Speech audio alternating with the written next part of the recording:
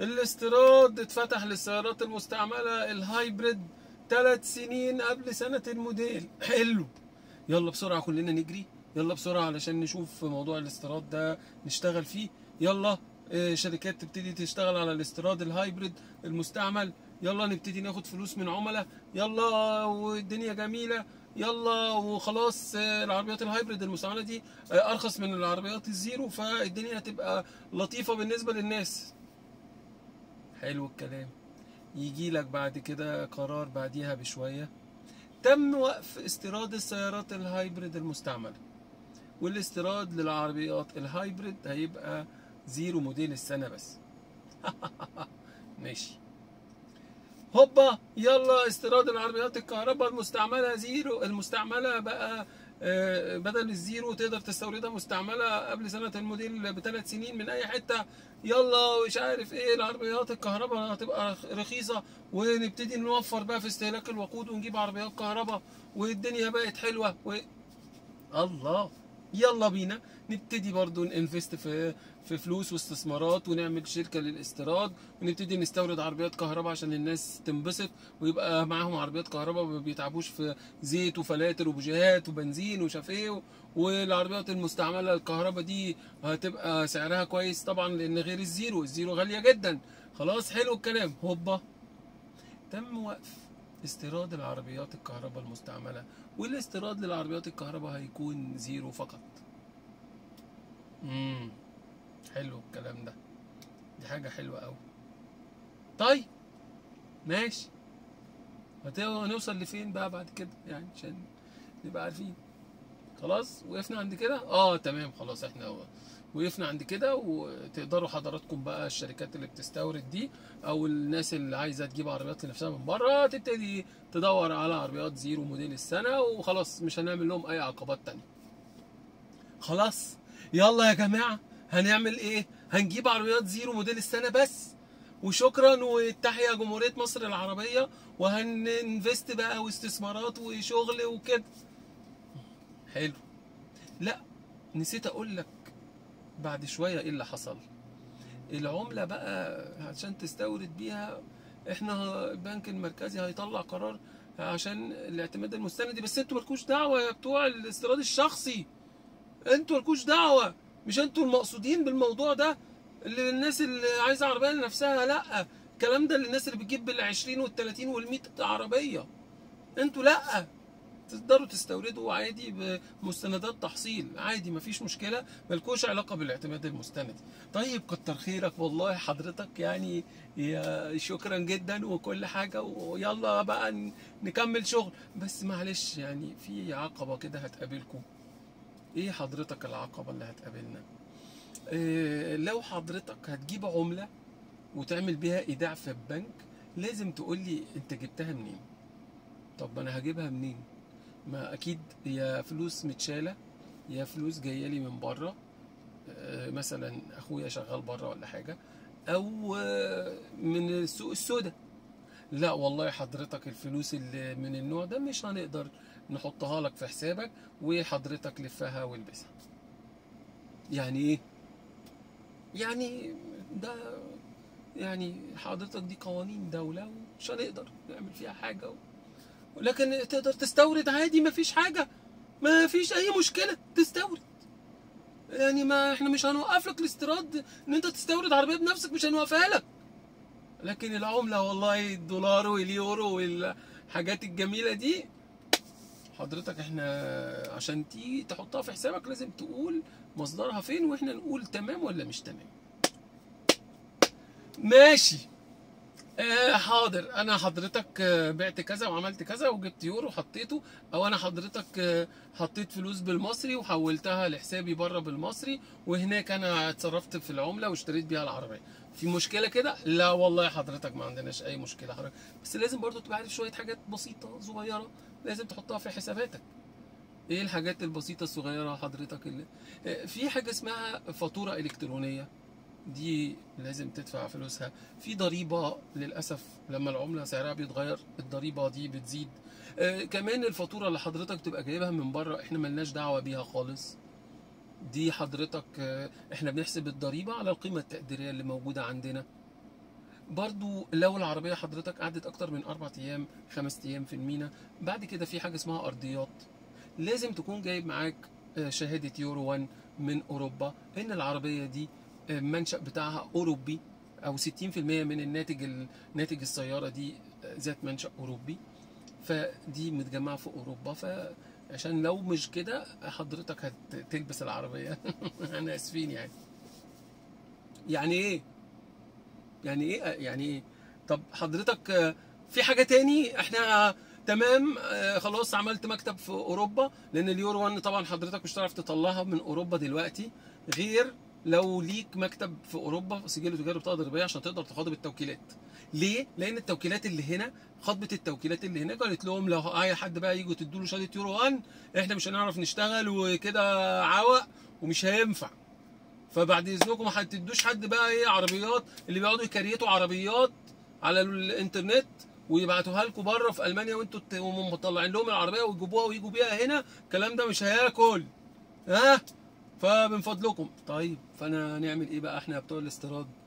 فرحنا عملنا مكتب في أوروبا وعملنا سجل تجاري بطاقه ضريبيه عشان نقدر نخاطب التوكيل نطلع منه شهادة اليورو 1 في حاجة تاني يا حضرات السادة الأفاضل؟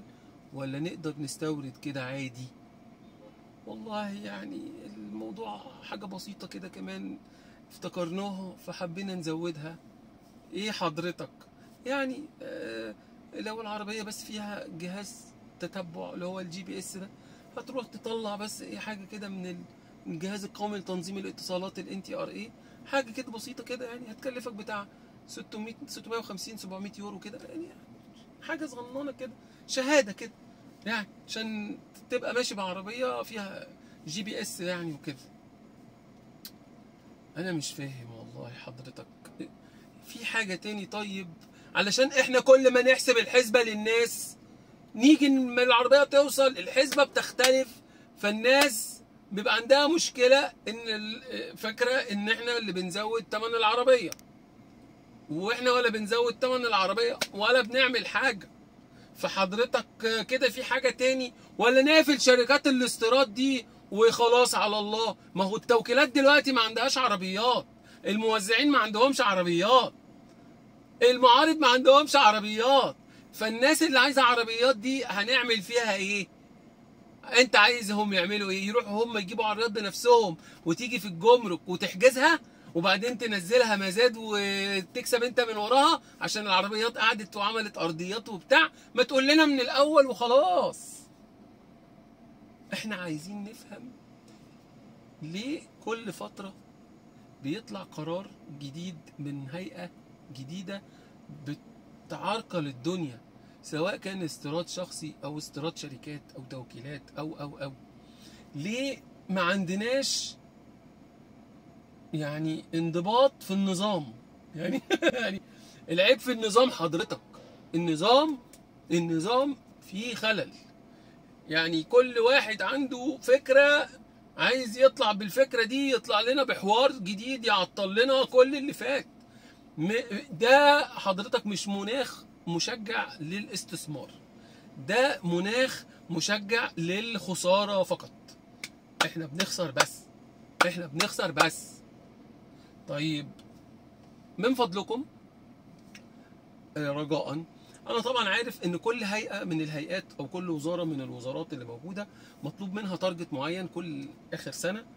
هتيجي تقعد في قعدة آخر السنة مع آه، رئيس الوزراء و ي- يتلبوا عشان ما حققوش ال target ال target ده أنا ما عنديش مشكلة إن أنت تبقى خايف على شغلك وخايف على مستقبلك وخايف على وظيفتك وخايف على ال income اللي, اللي, لازم يخش الدولة. أنا ما عنديش مشكلة في ده.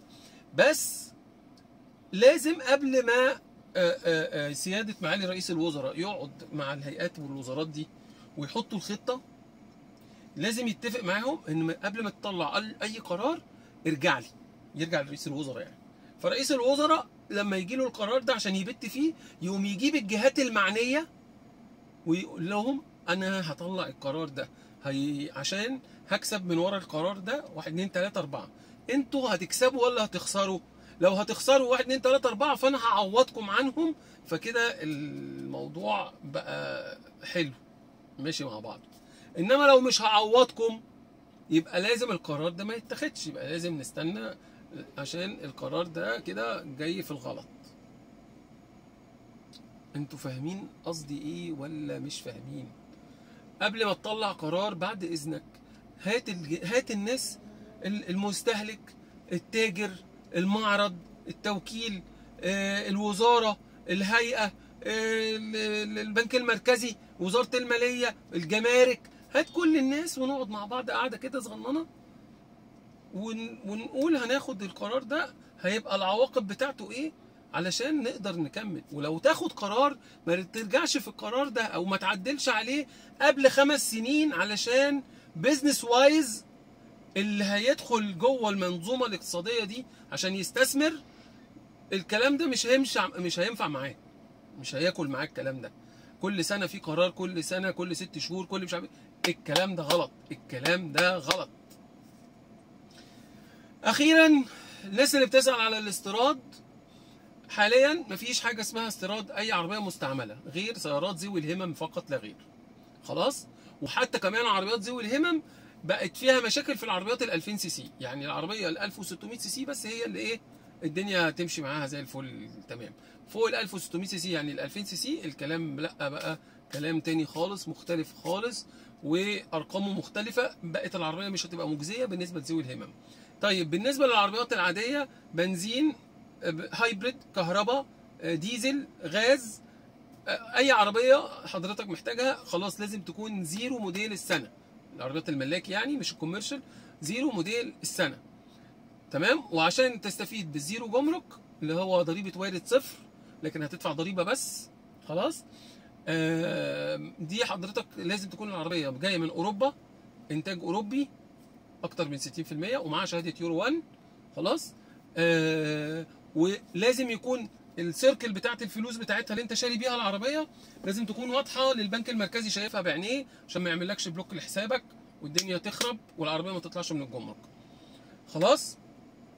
لو حضراتكم بتسألوا على عربيات آه، رخيصة آه، استيراد فأحب أقول لك للأسف الشديد أقل عربية استيراد أقل عربية استيراد من أوروبا سعرها 800 ألف جنيه. أقل عربية استيراد جاية من أوروبا سعرها 800 ألف جنيه. لو عايزين تعرفوا إيه هي العربيات اللي في range السعر ده اكتبوا لي في ال comment ات.